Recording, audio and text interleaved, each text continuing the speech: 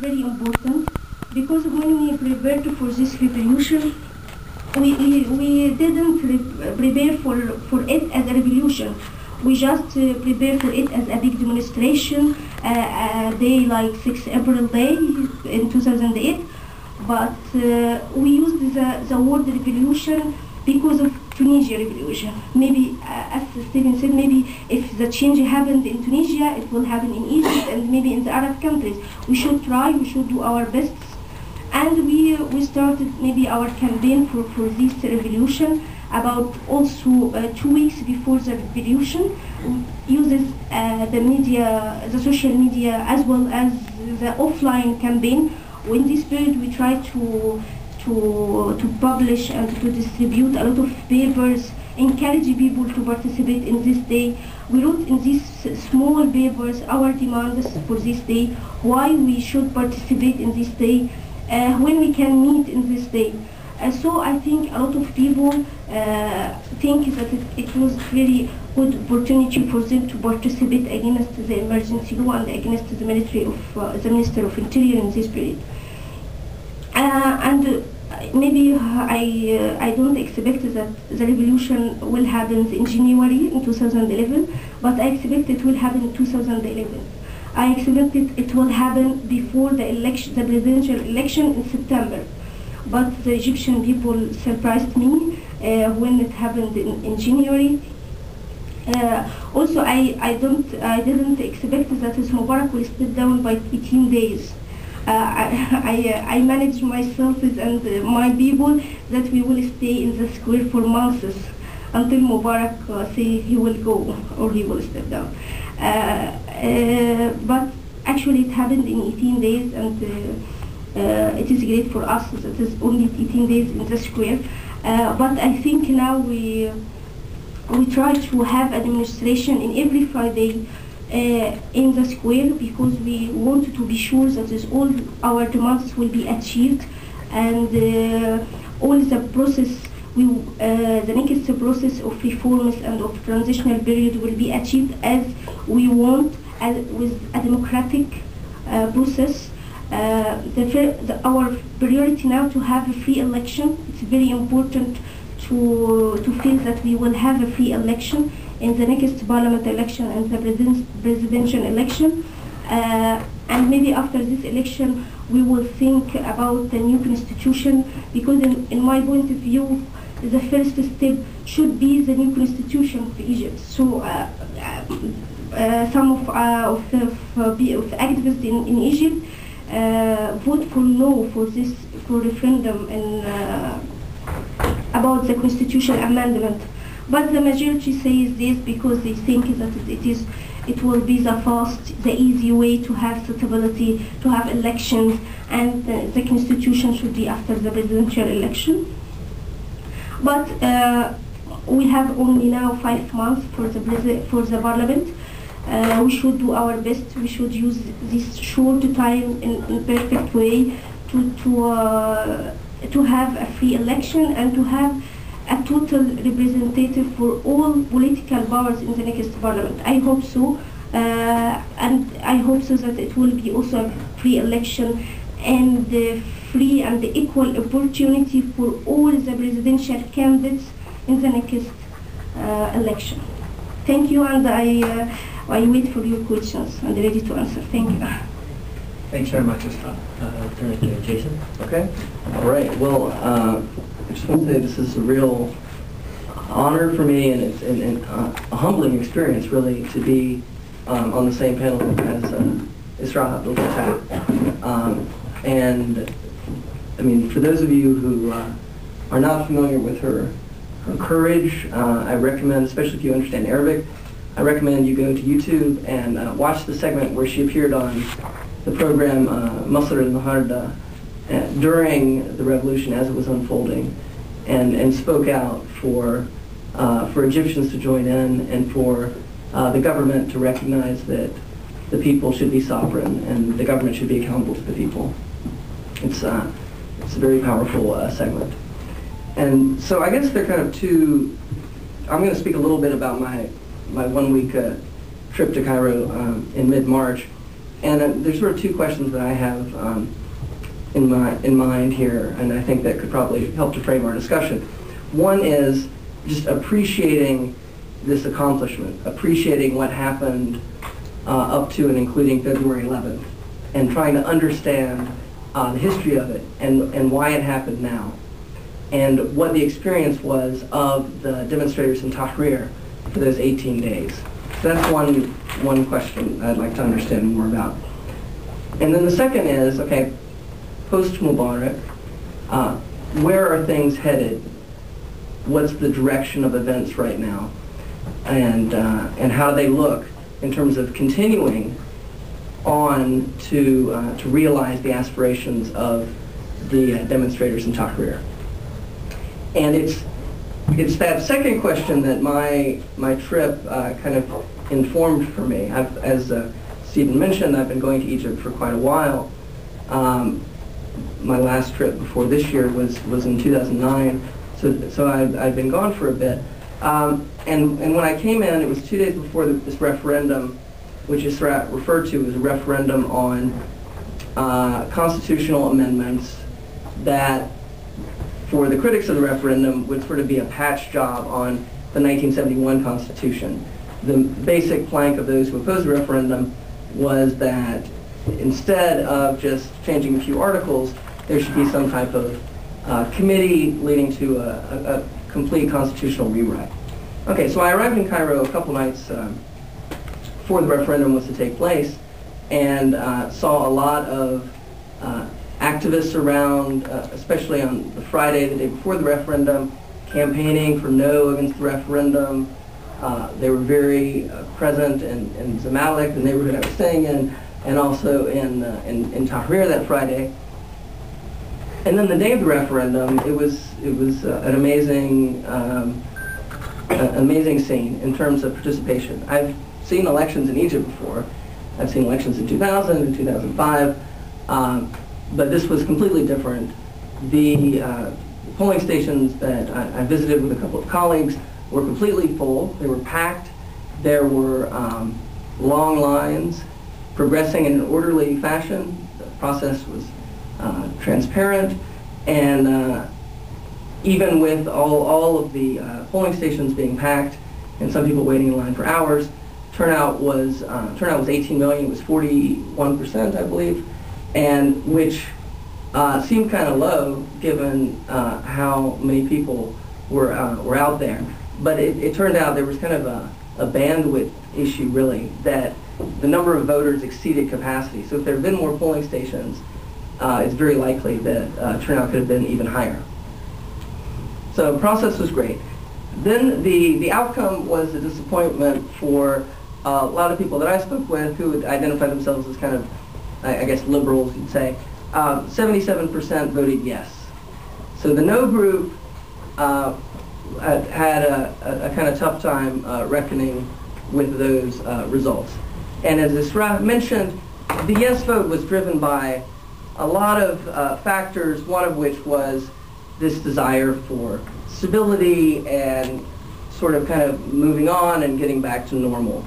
And that was a sentiment that my colleagues and I heard in the uh, in the poor neighborhood of, or lower class neighborhood of Bulaq Dakrur, um, in contrast to more affluent neighborhoods where there seemed to be more of a yes sentiment. So just generally, our impression was um, more kind of working class, lower income neighborhoods tended to be uh, more in favor of yes. Uh, I would just also add that given the constitutional declaration that the Supreme Council of the Armed Forces recently issued, where they kind of said, okay, well, here's, here's sort of the rest. Uh, turn it to Jason. Okay. All right. Well, uh, I just want to say this is a real honor for me and, it's, and, and uh, a humbling experience, really, to be um, on the same panel as uh, Esraa Abdul. Um, and, I mean, for those of you who uh, are not familiar with her, her courage, uh, I recommend, especially if you understand Arabic, I recommend you go to YouTube and uh, watch the segment where she appeared on the program uh, Masr al-Naharda uh, during the revolution as it was unfolding and, and spoke out for uh, for Egyptians to join in and for uh, the government to recognize that the people should be sovereign and the government should be accountable to the people. It's, uh, it's a very powerful uh, segment. And so I guess there are kind of two, I'm going to speak a little bit about my, my one week uh, trip to Cairo um, in mid-March. And uh, there's sort of two questions that I have um, in, my, in mind here, and I think that could probably help to frame our discussion. One is just appreciating this accomplishment, appreciating what happened uh, up to and including February 11th, and trying to understand uh, the history of it and, and why it happened now, and what the experience was of the demonstrators in Tahrir for those 18 days. So that's one, one question I'd like to understand more about. And then the second is, okay, post-Mubarak, uh, where are things headed? What's the direction of events right now? And, uh, and how do they look in terms of continuing on to, uh, to realize the aspirations of the uh, demonstrators in Tahrir? And it's, it's that second question that my, my trip uh, kind of informed for me. I've, as uh, Stephen mentioned, I've been going to Egypt for quite a while. Um, my last trip before this year was, was in 2009, so, so I've, I've been gone for a bit. Um, and, and when I came in, it was two days before the, this referendum, which is referred to as a referendum on uh, constitutional amendments that, for the critics of the referendum, would sort of be a patch job on the 1971 Constitution. The basic plank of those who opposed the referendum was that instead of just changing a few articles, there should be some type of uh, committee leading to a, a, a, complete constitutional rewrite. Okay, so I arrived in Cairo a couple nights um, before the referendum was to take place and uh, saw a lot of uh, activists around, uh, especially on the Friday, the day before the referendum, campaigning for no against the referendum. Uh, they were very present in, in Zamalek, the neighborhood I was staying in, and also in, in, in Tahrir that Friday. And then the day of the referendum, it was, it was uh, an amazing, um, uh, amazing scene in terms of participation. I've seen elections in Egypt before.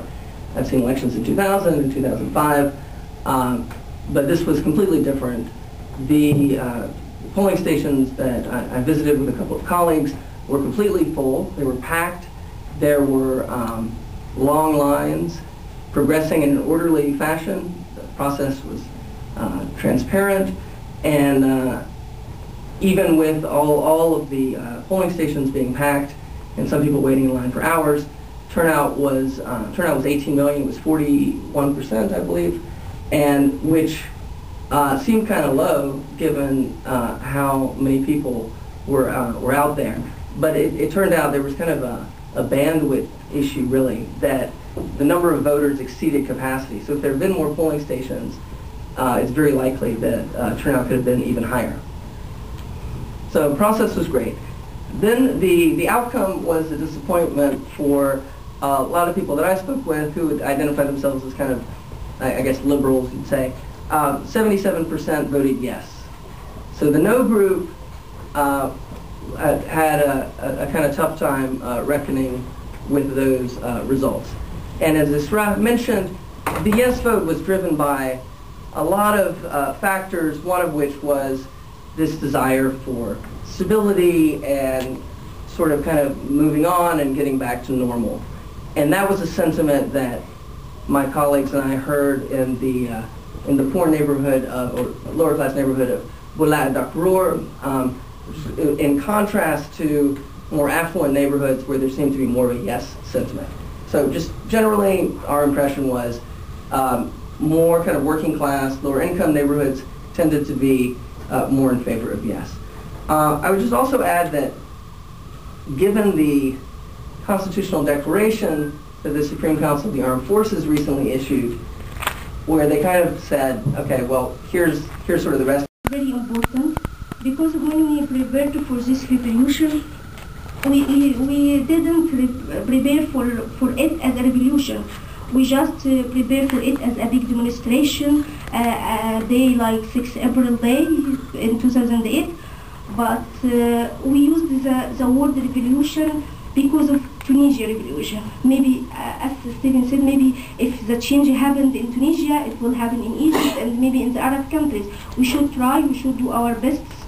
And we, uh, we started maybe our campaign for, for this revolution about also uh, two weeks before the revolution uses uh, the media, the social media as well as the offline campaign. In this period we try to to, to publish and to distribute a lot of papers, encourage people to participate in this day.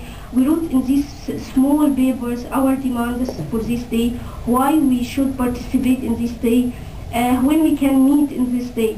Uh, so I think a lot of people uh, think that it, it was very good opportunity for them to participate against the emergency law and against the military of uh, the Minister of Interior in this period. Uh, and uh, maybe I uh, I don't expect that the revolution will happen in January in 2011, but I expect it will happen in 2011. I expect it, it will happen before the election, the presidential election in September. But the Egyptian people surprised me uh, when it happened in, in January. Uh, also, I, I don't I didn't expect that His Mubarak will step down by 18 days. Uh, I, I, uh, I manage myself and uh, my people that we will stay in the square for months until Mubarak uh, say he will go or he will step down. Uh, uh, but actually it happened in 18 days and uh, uh, it is great for us that it is only 18 days in the square. Uh, but I think now we we try to have a demonstration in every Friday uh, in the square because we want to be sure that is all our demands will be achieved and uh, all the process we, uh, the next process of reforms and of transitional period will be achieved as we want as, with a democratic uh, process. Uh, the, the, our priority now to have a free election. It's very important to, to feel that we will have a free election in the next parliament election and the president, presidential election. Uh, and maybe after this election, we will think about the new constitution because in, in my point of view, the first step should be the new constitution of Egypt. So uh, uh, some of, uh, of, of, of activists in, in Egypt uh, vote for no for this for referendum and uh, about the constitutional amendment. But the majority says this because they think that it is it will be the fast, the easy way to have suitability, to have elections, and the, the constitution should be after the presidential election. But uh, we have only now five months for the for the parliament. Uh, we should do our best. We should use this short time in, in perfect way to to uh, to have a free election and to have a total representative for all political powers in the next parliament. I hope so, uh, and I hope so that it will be also a free election and uh, free and equal opportunity for all the presidential candidates in the next uh, election. Thank you, and I I wait for your questions and ready to answer. Thank you. Thanks very much, Esraa. Uh.